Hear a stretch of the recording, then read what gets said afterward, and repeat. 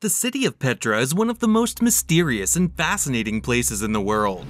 For centuries, people have been drawn to its temples, and its rich history has been the subject of countless books, films, and documentaries. Today, there are still many unanswered questions about this incredible city, but that only adds to its allure. So, buckle up and get ready to be transported back in time to the city of Petra. First, let's see an interesting fact about this city the city lines up with the sun. The ancient Nabateans who built Petra had a special regard for the sun, which they saw as a source of life, light, and mystery. As a result, most of Petra's stunning architecture is really coordinated with solar cycles, with a focus on the summer and winter solstices. Petra, an ancient city in southwest Jordan that was the center of an Arab kingdom in Hellenistic and Roman times, the city was built on a terrace pierced from east to west by the Wadi Mosa, or the Valley of Moses. One of the places where the Israelite leader Moses, according to legend, struck a rock and water gushed forth.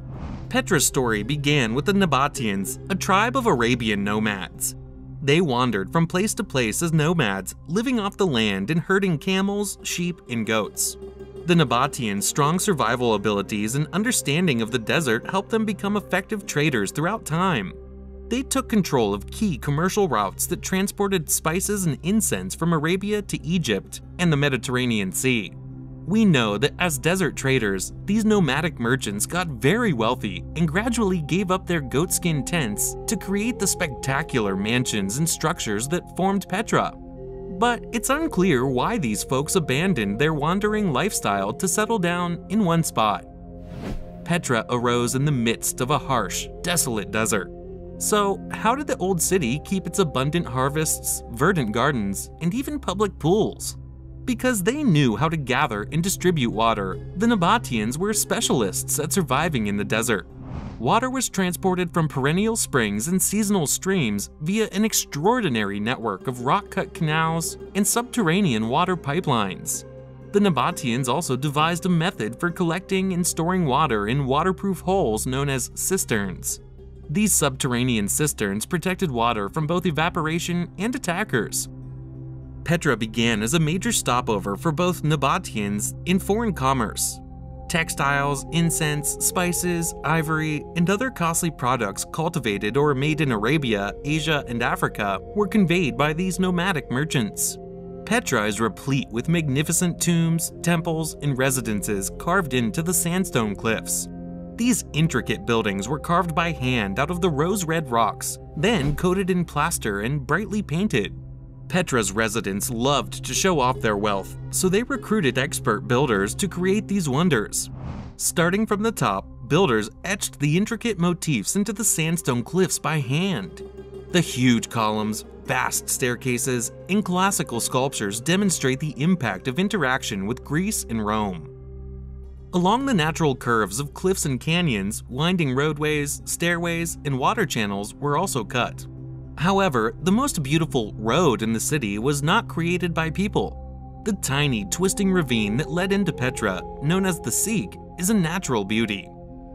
The mighty Roman Empire was spreading throughout the Middle East as Petra developed.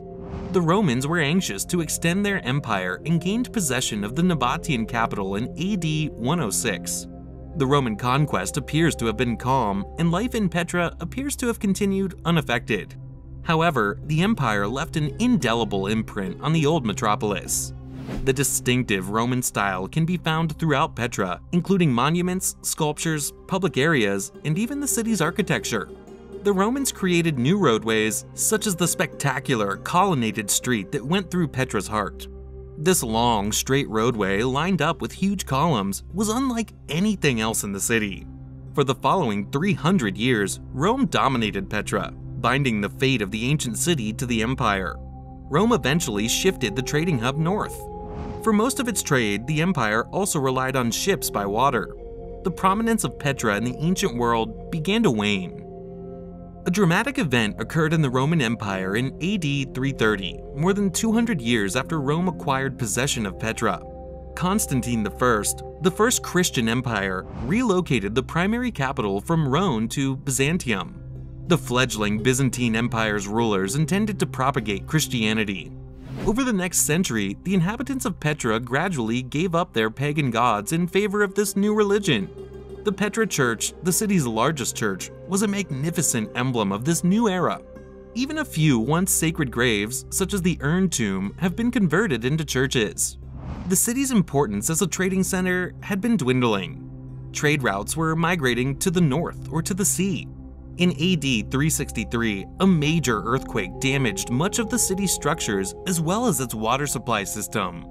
This natural tragedy was a watershed moment for the Nabateans. Only a few people lived in and around Petra by AD 700.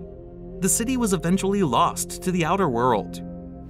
Western explorers would not locate the old city for another 500 years, during his travels in 1812, Swiss adventurer Johann Ludwig Burckhardt was the first European to describe them.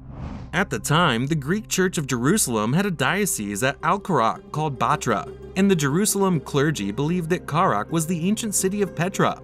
Burckhardt already spoke Arabic well and was on his way to investigate the Niger River when he heard rumors of a dead city containing Prophet Aaron's tomb.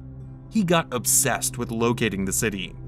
He then disguised up as a local and talked solely in Arabic, taking a goat with him with the intention of sacrificing it in honor of Aaron's tomb. He was persuaded after one day of searching that he had discovered the lost city of Petra. With the Western world now aware of their presence, they quickly piqued the curiosity of architects, academics, and others. An official initiative to dig and examine Petra was initiated in 1929 by British archaeologists Agnes Conway and George Horsfield, as well as academics Taufik Canaan and Ditlev Nielsen.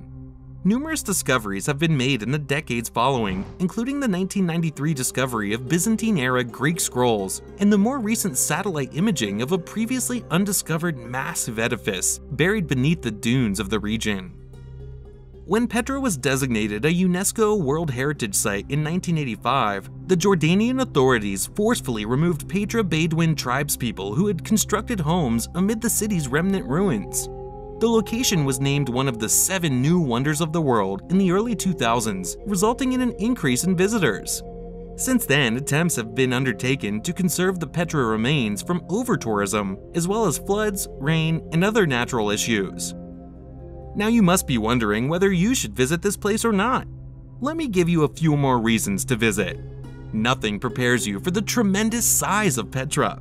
The main entry leads you through tiny, towering gorges that make you feel like you're in a movie. Yet, the first glance of the treasury is as awe-inspiring as it must have been for Johann Ludwig Burckhardt when he found the city centuries ago. It's easy to get lost in this enormous location, with structures delicately etched into the rock in every direction you look. With the noise and bustle of modern day market stalls and visitors, you can almost envision what it must have been like as a vibrant community all those years ago. The monastery, the city's greatest landmark, is located in the city's highest reaches and is considered to date back more than 2,000 years. Standing at the foot of this great work of art, it's not difficult to be taken away by its magnificence.